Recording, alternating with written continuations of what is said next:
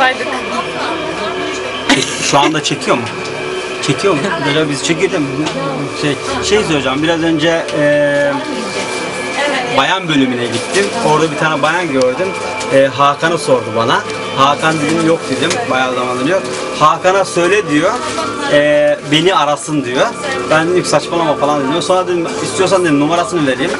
Eee, bu, arada eee, o kız orada gördüğümüz kız Hakan'ın yakın arkadaşı. Bir kere daha önce beraber buraya gelmişlerdi. Sonra dedim ki sonra dedim ki e, istiyorsan numarasını vereyim. Sana dedim. E, Şey hiç tarzım değil dedi. E, ne kadar alacağız? Çarpıtıyor öyle bir şey söylemedim.